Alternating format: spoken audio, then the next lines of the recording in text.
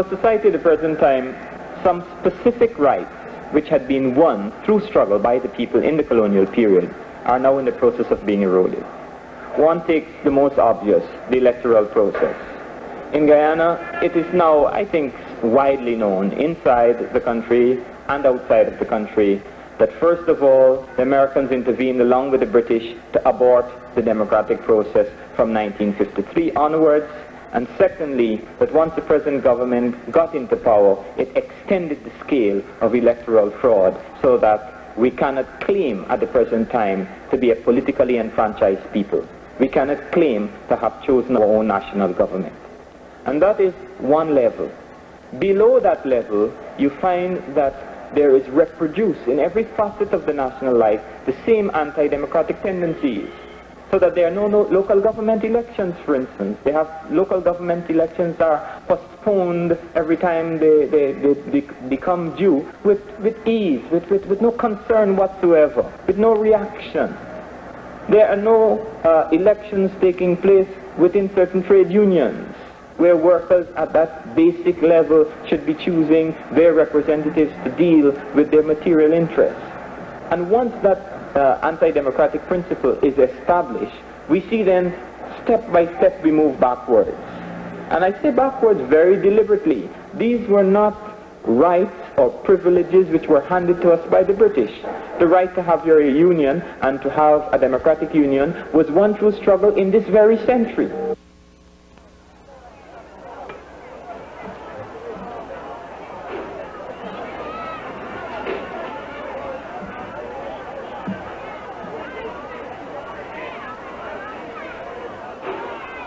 The right to have democratic elections was won only in the late 1940s and in 1963 when there was universal adult suffrage. So that these recently conquered rights are now in the process of being withheld, uh, eroded, dissipated in one form or fashion.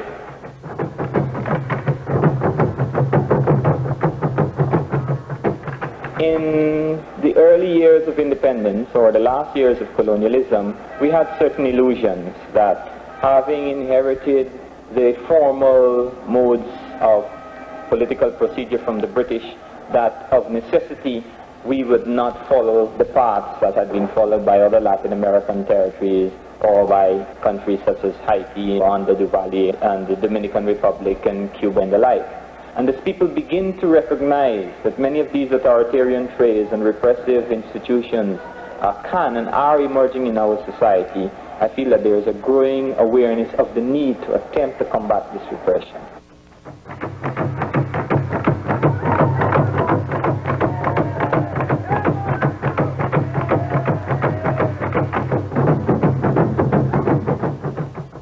One of the significant areas in which repression is taking place is the whole area of the media, the newspapers and the radios.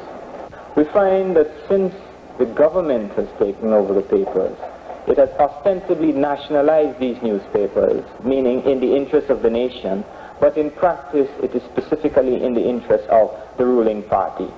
As the Prime Minister of this country himself once cynically remarked, he says, the government never tells the newspapers what to print, they simply tell them what not to print. And then they go beyond that. They're not prepared to allow competing centers of information so that they utilize illegal machinery to crush things like the Mirror, the, the People's Progressive Party's newspaper, The Day Clean, which is a new sheet printed by the Working People's Alliance. They had made it impossible for a political organization to print a newspaper. That organization then resorted to mimeographing a sheet, but the government considered it absolutely essential to continue to persecute, to, to go to the level of seizing typewriters to make it impossible for people to type and produce a mimeograph sheet.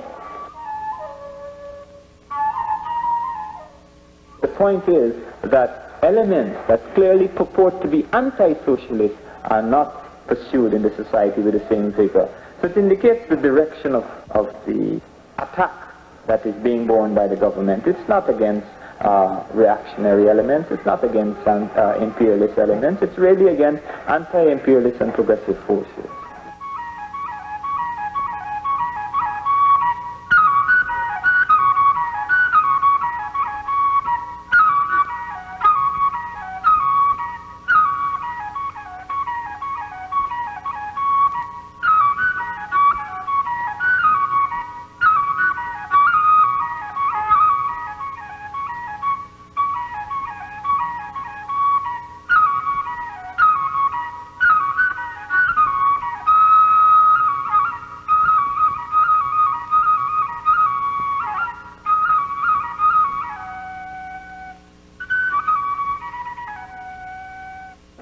In Guyana, when we speak of civil liberties and civil rights, people are beginning to understand that the most fundamental of these is the right to work in our society.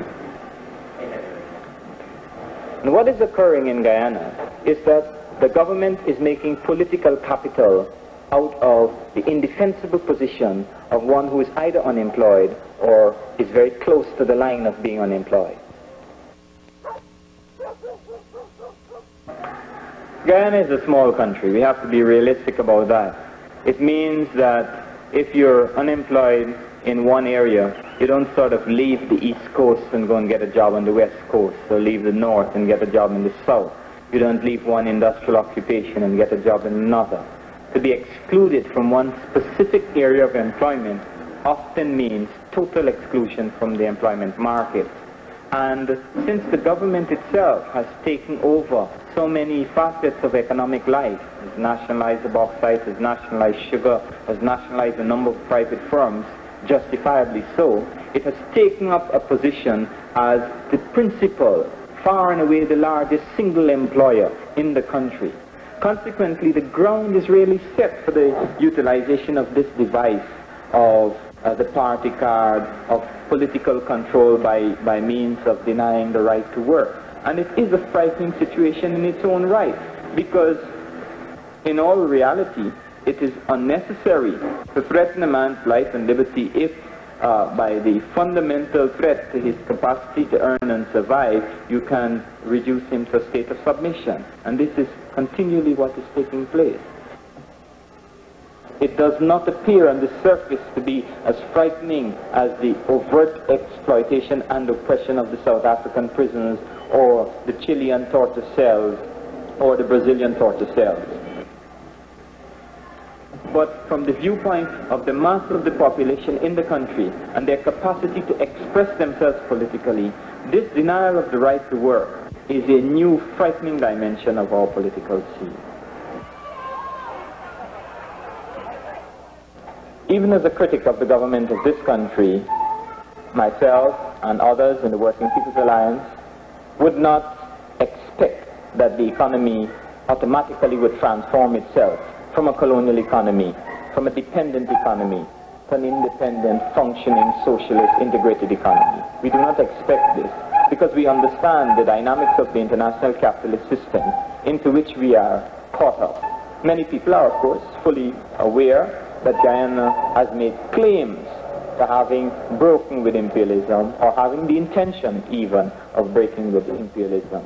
What we find in our actual economic relationships is a very marginal shift for the sake of convenience towards an expansion of trade with socialist countries and the nominal takeover of large sectors of the economy, but not based on a firm commitment to break the ties by which our working class was continually exporting surplus to foreign capital. Consequently, at the last budget, it was evident that the rate of repayment of interest as well as the actual uh, payments for nationalization was so high that it constituted the same drain, if not greater, than it was in the period of direct foreign ownership. This is the sort of uh, contradiction in which we find ourselves, partly because of historical forces, but also because the class in power doesn't have a conception of where it is going, how it will extricate itself from certain relationships, and indeed one wonders whether fundamentally the petty bourgeois class really has a commitment to extricate itself from international capital. Food plenty in the market to till GMC dumping. Money not ever buy because you're poor like me, you're black like me, and poverty is your legacy. Last election was 64. From since then was selection. That's all about corruption. Poor like me, you're black like me, and poverty is your legacy. Yet we have democracy and can't do nothing. We have neither the power nor capacity. Code of Conduct Act start cut down corruption tree. Liverpool, Brabazap, libel scandal. Day Clean in court, mirror in court, see in jail. Can't get no bail.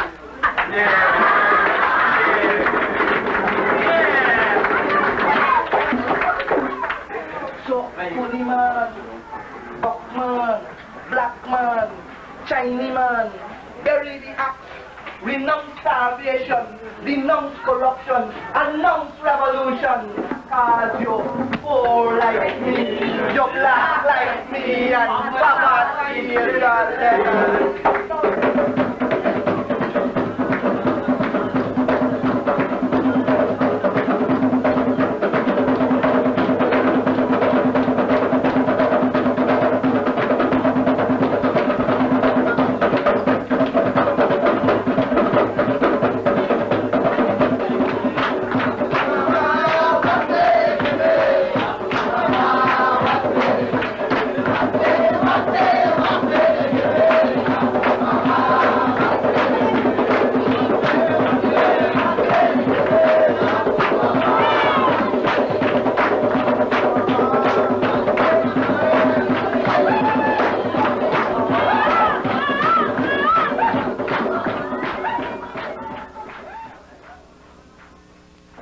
Government has put the whole nation in a position in which it has to pay in order that foreign capital or foreign multinational interests should still continue to draw surplus from our economy in indirect means. But having put the whole nation in hock, as it were, the government goes further.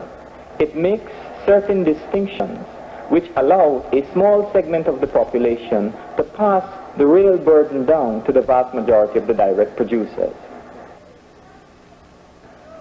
The key question then is there any basis for suggesting that the working people themselves are now either in greater control of the processes or are they in a better position to recoup for themselves the product of their own labor? And I would suggest that the answer to that is a negative, and that that is the answer which workers give. This is the answer which bauxite workers are giving. This is the answer which sugar workers are giving, and the record is clear in terms of the actions which these workers themselves are taking.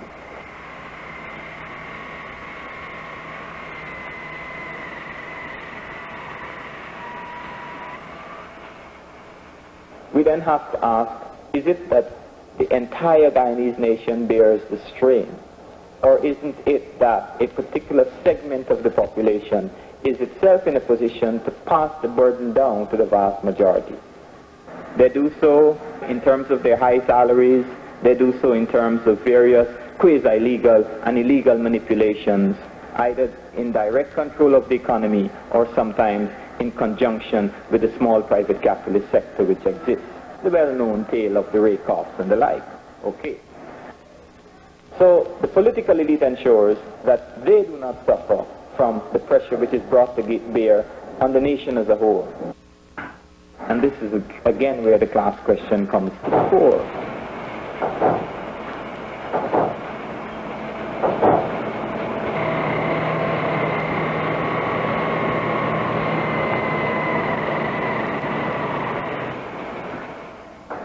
Economic crisis can always be measured in terms of statistical indices.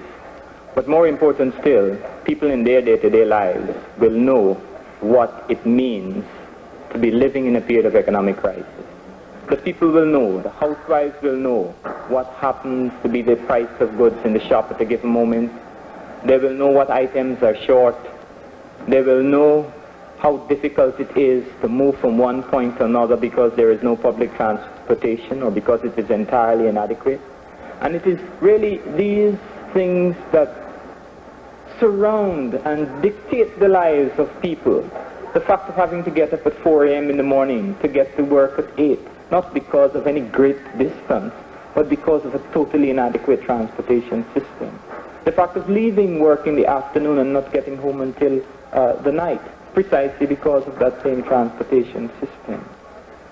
It seems to me that in many respects, the working people of the country are showing by their, their actions and showing by their day-to-day utterances their awareness of the way in which all these indices are real to them in a day-to-day sense. Their children show it in terms of malnutrition. Their old people show it in terms of inadequate medical attention. And one really doesn't say that this is a unique situation. It is found in so many parts of the third world.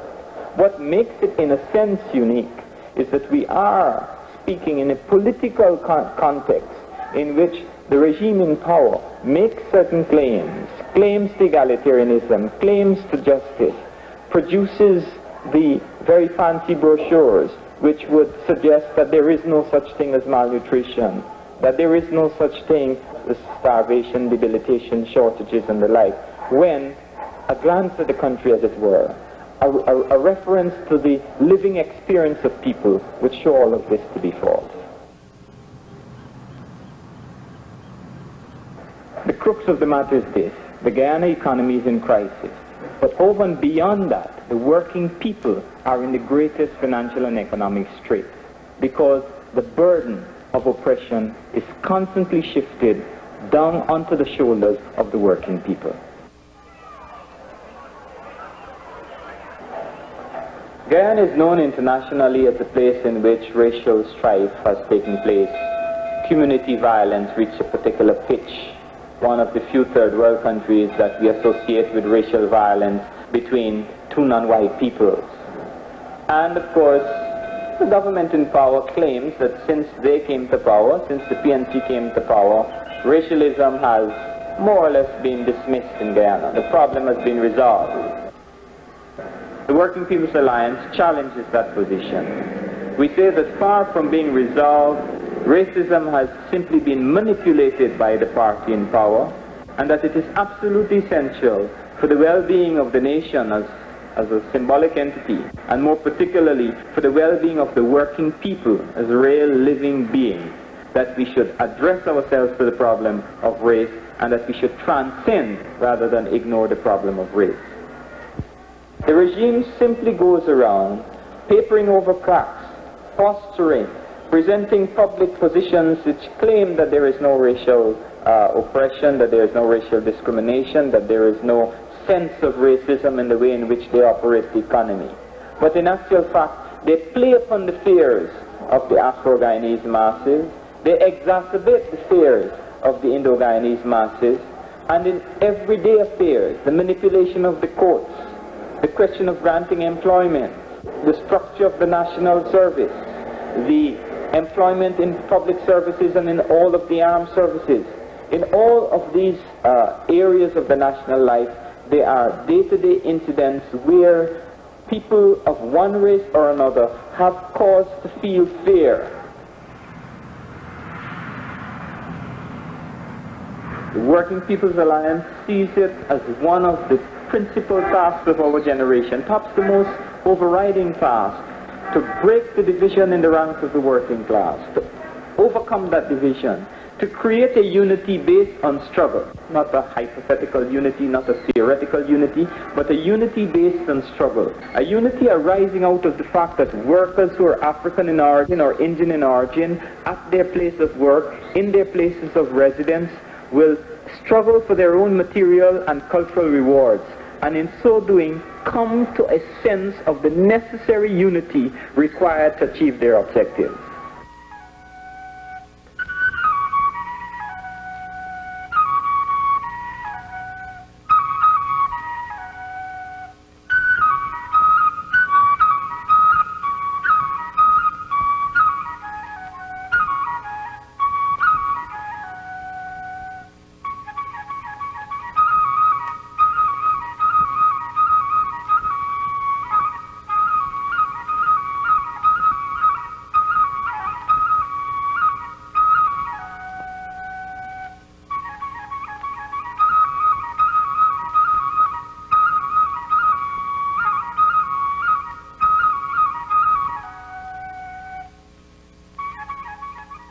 We have seen, I think, some evidence of this. We have seen workers in the bauxite sector coming to an awareness over the years that although they're predominantly African, their principal opponents by no means could be construed to be the Indian workers. On the contrary, that they should call upon the Indian workers to side with them in confrontation with the petty bourgeoisie, even when that petty bourgeoisie is predominantly African.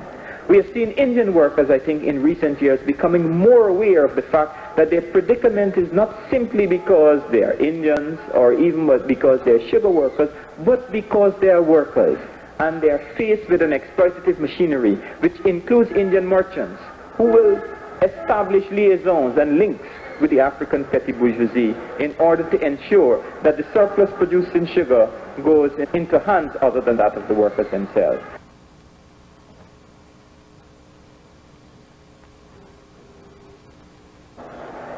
My own awareness of the history of Guyana in the colonial period is that the colonial regime trembled whenever African and Indian workers moved together. And on the basis of that and many other facts which can be adduced, I would say that when African and Indian workers move together, the local exploiting class will have a very short lease of life.